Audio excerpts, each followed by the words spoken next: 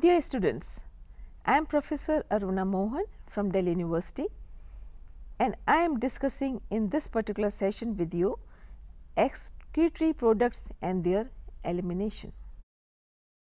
Before I go into details, I would like you to know that whatever food we eat is finally converted into several components.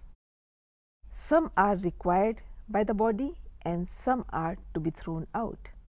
Some are toxic and some are not toxic. We take oxygen, we have to give out carbon dioxide. So, elimination of excretory product is very very important and how that is happening in our body that is the aim of this session to make you understand.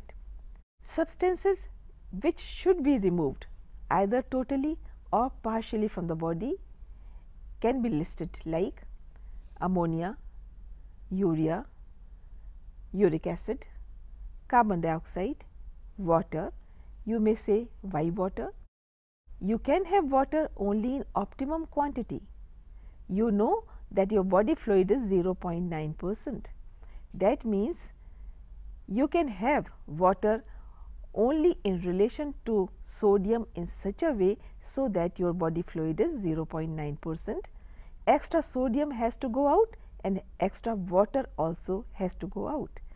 You cannot disturb the concentration of your body fluid which should be 0.9 percent all the time. So, extra water is also to be given out. Then certain ions which we need also like sodium, potassium, chloride, phosphate, sulphate we need them, but if they are in excess they are also to be removed.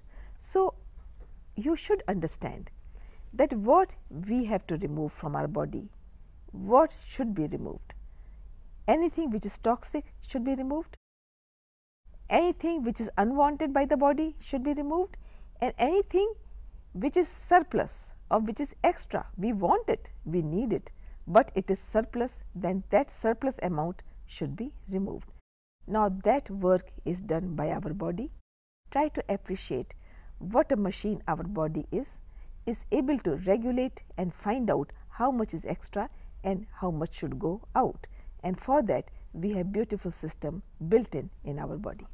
Before I go into the detail of the system, I would like you to know that in the process of evolution when from amoeba, multicellular and then fishes and then amphibians and then reptiles, birds and mammals are formed in this order. Then our excretory system has also taken so many turns. Fishes which normally give out excretory matter in the form of ammonia, highly highly toxic substance. You can't keep ammonia in your body even for fraction of second.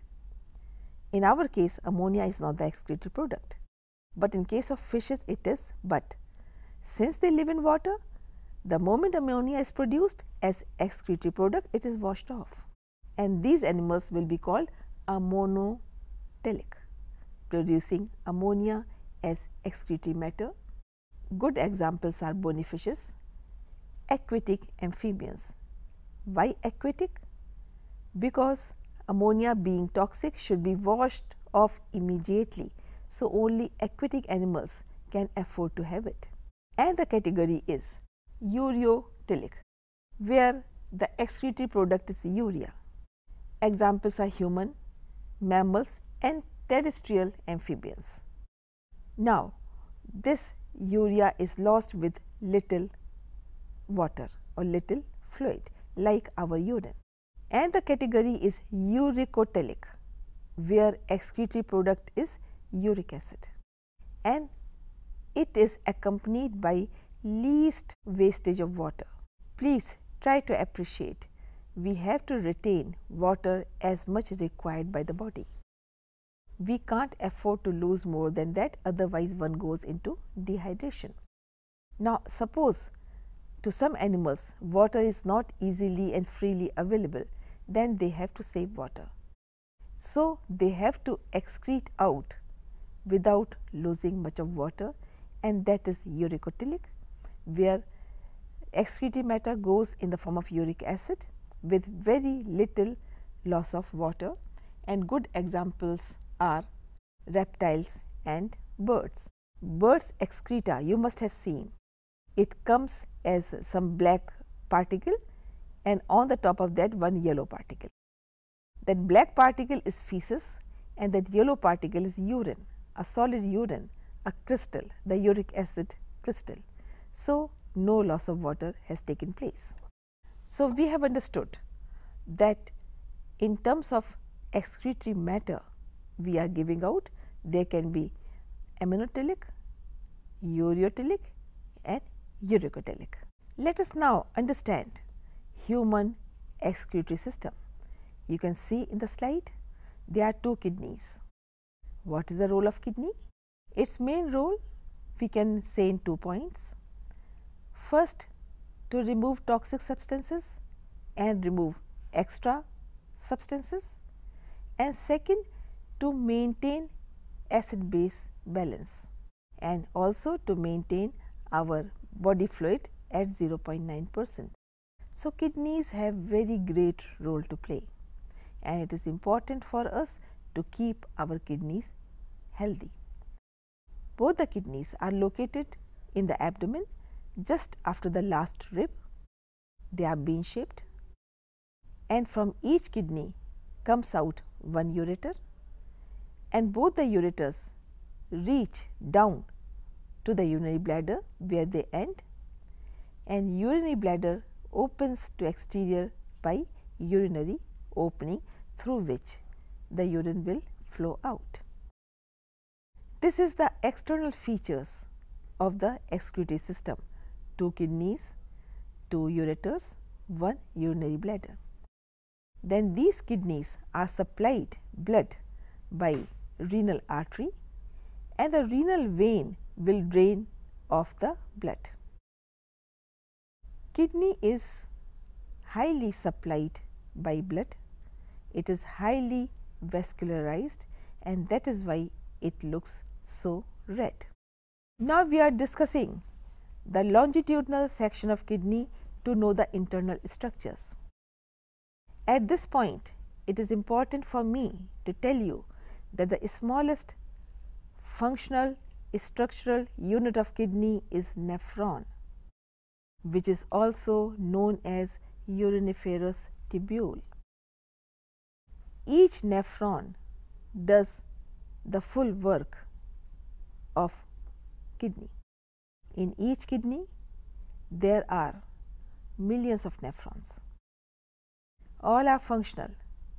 But if one tenth of one kidney is working, we will have normal life. We have extra kidney tissue in our body. In our body, we have everything little extra, so that machine goes on.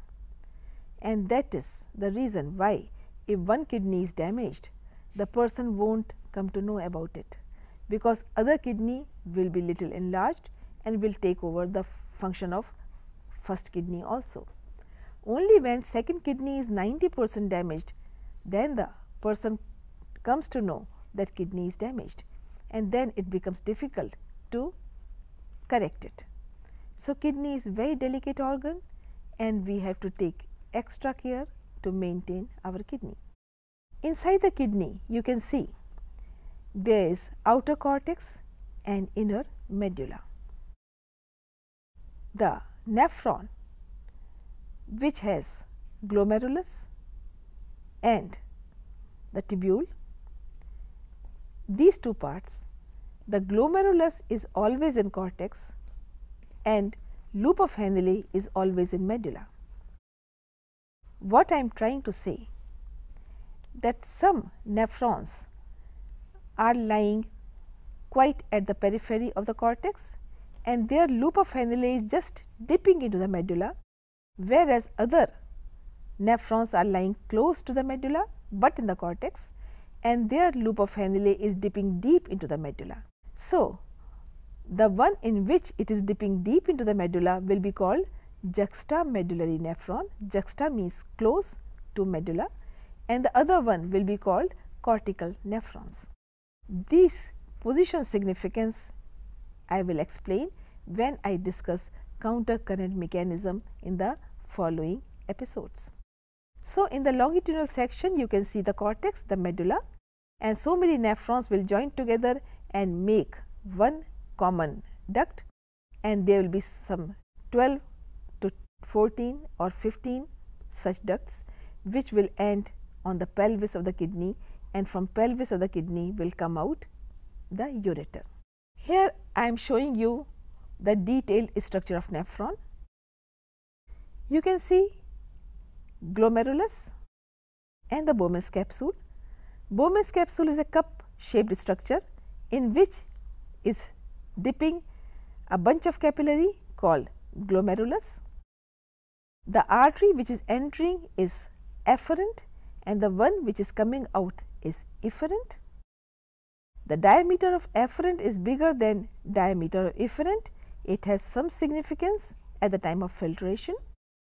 After Bowman's capsule, you can see proximal convoluted tubule, then loop of Henle, then distal convoluted tubule and then the collecting duct which is coming down again to end on to the pelvis.